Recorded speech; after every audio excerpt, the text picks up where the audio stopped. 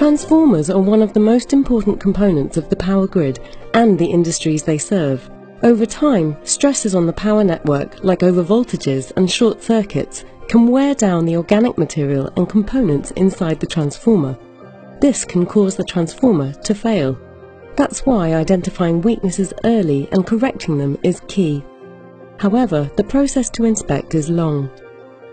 The classical procedure is complex, costly and environmentally risky.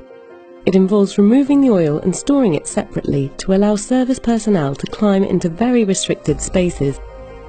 Introducing ABB Ability T-Explore, the first submersible transformer inspection robot.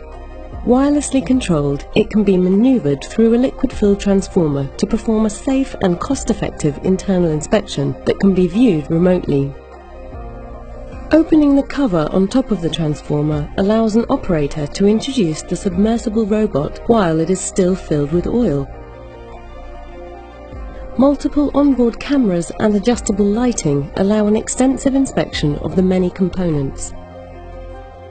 The robot's small size allows it to access many difficult to reach areas for the most complete inspection possible. The robot records videos and photos and can share the camera feeds to off-site experts in close to real time.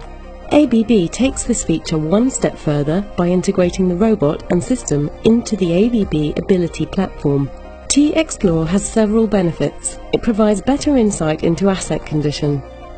The data collected by the robot can be analysed by ABB experts there is a considerable reduction in downtime and if a problem is identified, ABB's experts can provide a quick solution.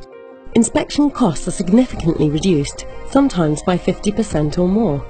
By minimizing oil handling, the risk of environmental damage is significantly lowered, and there is no need to place personnel at risk or expose the transformer to potential damage from human interaction. Faster, safer and more cost-effective maintenance and repairs for liquid-filled transformers.